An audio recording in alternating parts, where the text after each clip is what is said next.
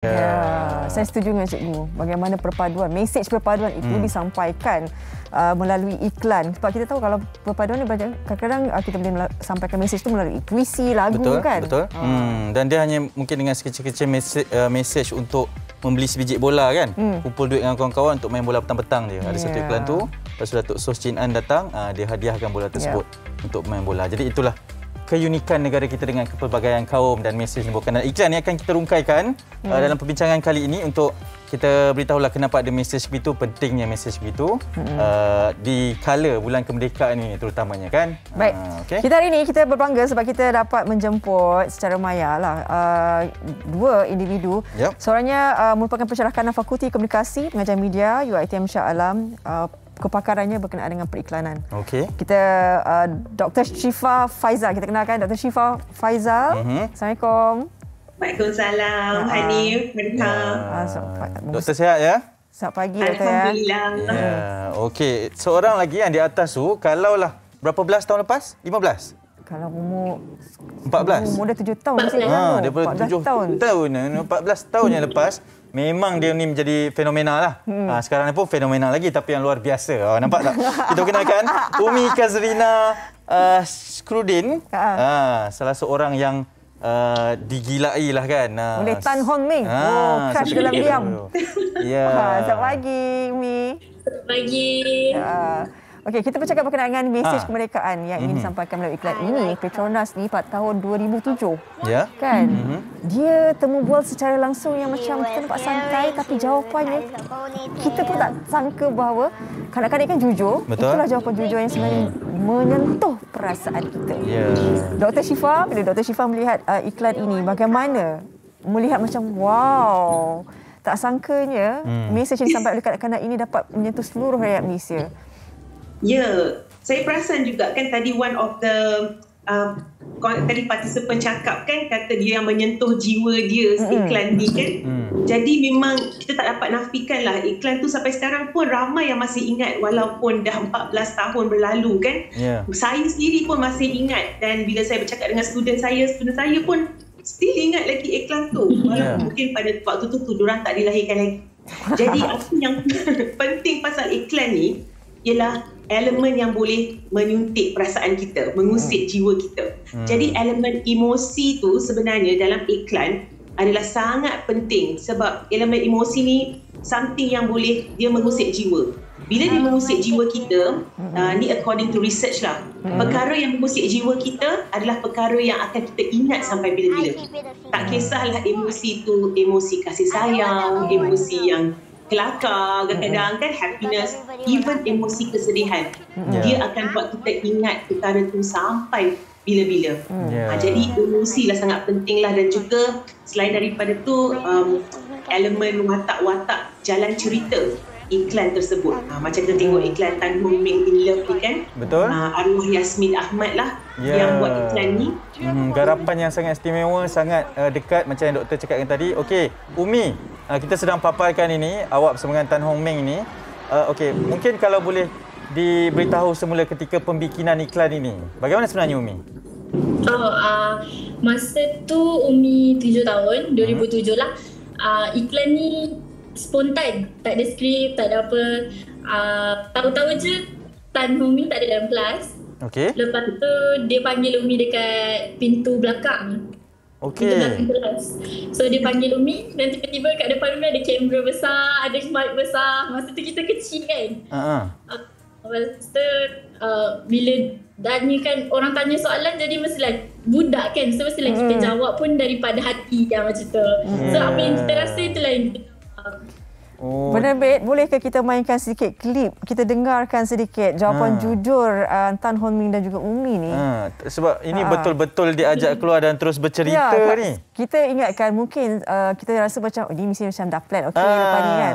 Tapi mungkin kadang-kadang kan jawapan dia sangat jujur. Betul. Tak kira lah bagaimana kita dah plan atau tidak. Kan? Okay. Okay. Tapi rupanya memang kan? spontan. Hmm. Ha. Okey, kita dengarkan sedikit.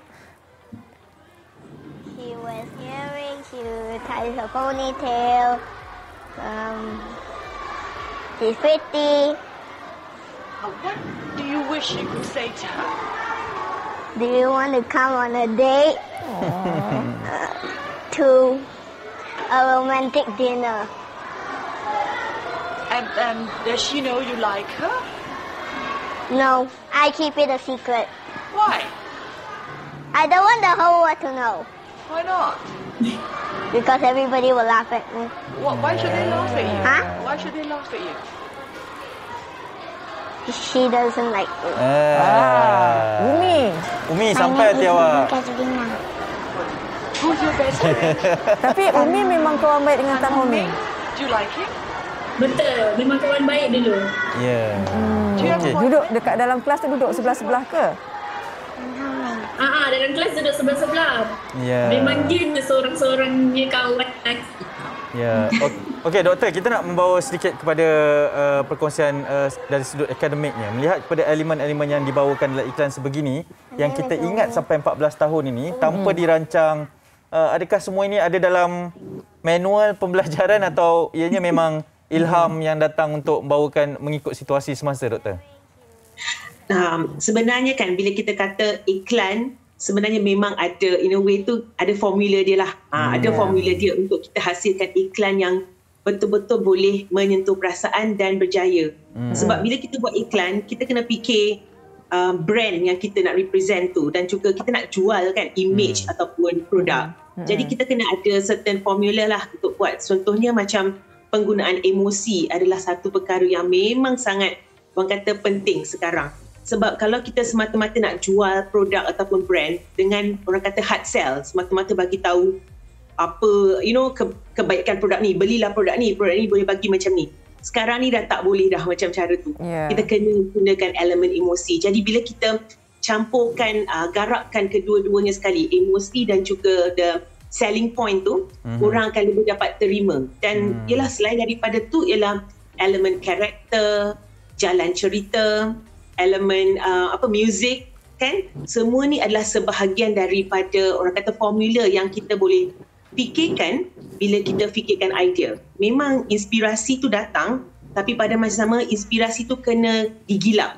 hmm. so that dia menepati certain formula so that dia boleh sesuai dengan uh, masyarakat. Macam sekarang ni kita tengok iklan Merdeka kan, Ya. dia pasal perpaduan. Hmm. Jadi perpaduan bila kita nak sampaikan mesej kasih sayang, especially kasih sayang, kasih sayang kepada negara, dia melibatkan uh, kita semua, rakyat Malaysia.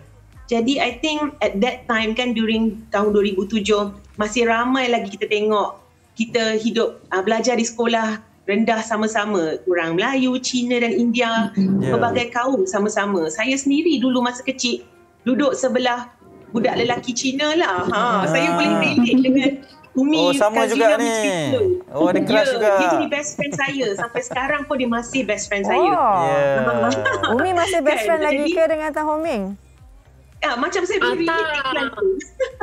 Umi dah tak dah tak uh, keep in touch? Ah tak sebabnya Umi pindah sekolah jadi kita dah lost contact lah macam tu. Tapi kita still uh, macam tahu perkembangan each other through Instagram ah. macam tu. Ah, okey. Baik. Uh, Umi mungkin daripada awak sendirilah dengan adanya iklan sebegitu yang masih diingati sampai sekarang mm. membawa mesej keluarga Malaysia sekarang kan di bulan uh, kebangsaan ini uh, adakah ianya uh, adalah satu gambaran kehidupan bagaimana Malaysia ini mungkin Umi boleh kongsikan juga? Hmm. Uh, macam kita kan sekarang dekat Malaysia daripada dulu pun um, kita berbilang kaum kan ada hmm. Cina, Melayu, India. Jadi um, antara mesej dalam iklan tu tersendiri pun menunjukkan yang skin colour doesn't matter. Tak kisahlah hmm. darah pun tetap sama ah macam tu. Jadinya harapnya kita semua dapat kekalkan lah uh, keamanan negara kita. Betul, betul. Sebenarnya tanggungjawab rakyat Malaysia sekarang ni untuk mempertahankan apa yang dah sedia ada sebelum ni. Ya. Kan? Uh, terima kasih banyak-banyak Doktor Mhm. Syifa dan juga Terima Umi. Terima kasih banyak-banyak Ya. tau. Doktor kalau buat kelas beritahulah nak masuk ah. Eh? Hmm. Uh, Minat tak? Umi terima kasih banyak juga. Selamat bertugas kedua-duanya. Okay, selamat menyambut uh, Hari Malaysia juga yang Betul. akan datang. Ya. yeah. Selamat Hari Malaysia. 16 September nanti. Terima kasih banyak-banyak. Assalamualaikum. Waalaikumsalam. Ya. Itu dia. Betul lah kan? Hmm, sebab iklan ni satunya mencabar adalah macam mana durasi. Sebab tu kadang-kadang kita tengok macam mana dia extendkan ke dalam YouTube. Ah, untuk betul. message itu sampai. Kadang-kadang versi TV tu dia pendek-pendek Mm-mm. tak sampai kan. Mm-mm. Dia akan cakap okey saksikan di YouTube. Ah, Mm. Sebab itu sebenarnya jalan cerita tu yang menyentuh hati emosi tu. Betul betul. Baik. Hebat. Okey, itulah kekuatannya. Okey, kita nak bertindak seketika